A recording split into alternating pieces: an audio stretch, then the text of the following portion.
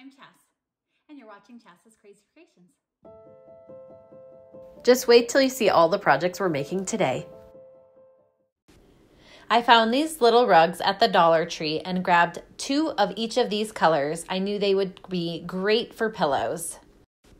They also happen to be my kids' favorite colors. I laid one rug down and then I placed the other rug directly on top of it, tags facing in.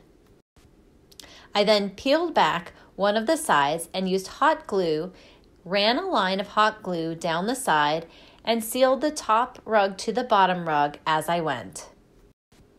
Hot glue is an easy no sew option, but you could easily sew this if you like. I then did this to the other long side as well, hot gluing all the way down and pressing as I went. Once both the long sides were done, I went to one of the short sides and repeated the same process of gluing and pressing as I went along the short side. This left one side open for a pillowcase effect. I purchased a 12 by 16 pillow insert from Walmart to put inside this pillowcase. I stuffed the pillow inside the pillowcase, and you could choose to leave this end open I like the idea of being able to pull the pillow out so I can wash the pillowcase.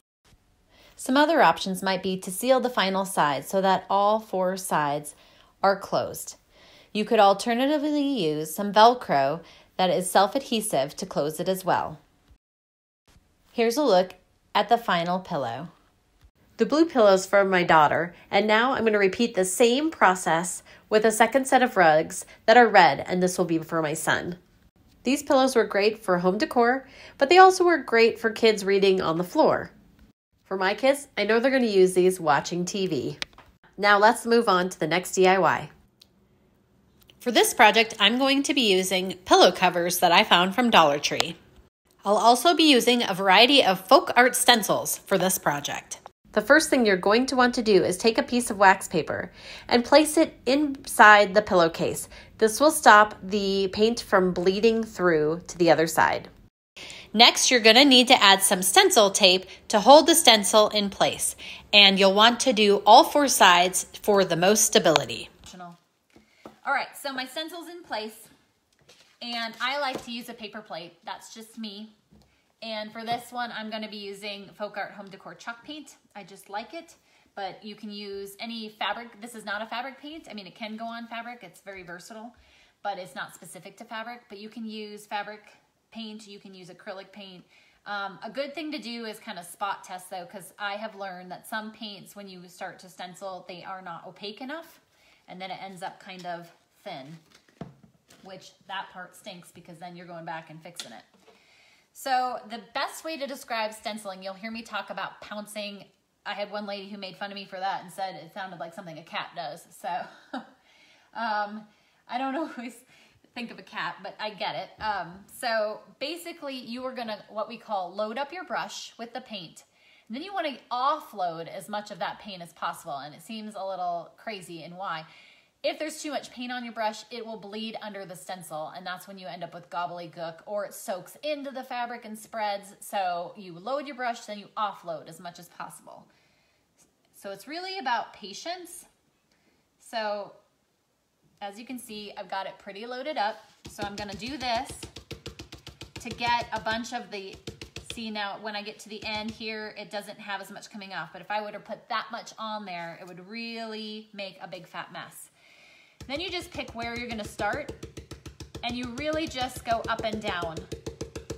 Now some people like a swishy thing. I always end up getting bleed when I do that. So for me, this pouncing just goes up and down onto the stencil so that way it's not moving sideways or underneath the stencil. So for me, this pouncing action works the best. But you just have to do a little experimenting and see what is the best for you. Now you'll catch that I'm gonna get it on my fingers, so if you don't like that, you can always wear gloves. Then this process just continues, dipping your paintbrush in the paint, offloading as much paint as possible, and continuing to stencil until the entire stencil is covered in paint. Now, I love this chalk paint because it cleans off my brush easily, so that's something to consider when choosing your paint. And you can also choose other colors, but you'll want to be careful of bleeding between the colors. So clean your brush, maybe wait for the first round to dry and or make sure it doesn't touch the other so that you don't end up with crossover bleeding if that's not something you want. Once you are done stenciling the project, you'll want to remove your stencil right away. This will prevent your stencil from sticking to the paint and or peeling the paint up with the stencil upon removal. So it's important while this paint is wet to still remove the stencil carefully. Here's the completed pillow. I'm going to wait for this to dry and then I'll remove the wax paper and put the pillow in. Now, let's take a look at some other pillowcases you could make or other fabric opportunities. Again, remembering to put the wax paper inside. Place the stencil on top, add the stencil tape to hold it in place, and begin painting the stencil. Once the stencil is complete, carefully peel it up and then let the paint dry completely. Now, while that's drying, I'm going to show you how I'm going to use these other pillowcases to decorate seasonally in my home. Now, in addition to that, what I love about these pillowcases is that they pull apart and fold flat in my storage for the next season, so they don't take up a lot of space. And you can use the same pillow for all the different seasons. Now, in addition to that, you can make them for evergreen, which means for year round. So you can make some that are seasonal, some that are for to be left out all the time. And then these also make wonderful, wonderful gift ideas. Now, let me teach you a little tip or trick. Remember that first pillow I did? Right. Well, I'm taking that same pillow now. I've flipped it over to the other side that was blank. And I'm going to stencil the other side with a new stencil. Now, you could use the same one or a different one, but you can get more bang for your buck. And another trick beyond that, I have used one side of a pillow for one season and then flipped it over and done a different stencil for a different season. So you can leave that pillow out for basically six months of the year and cover two seasons with it. Now here's a quick look at my pillow that I'll be using and all the different pillowcases that I've just made. So I'm going to take that pillowcase and I'm going to stuff the pillow inside and zip it closed. And I hope this inspires you to make some pillowcases of your own and just stencil fabric in general. I'd love it if you'd subscribe to my YouTube channel and my blog at chascrazycreations.com.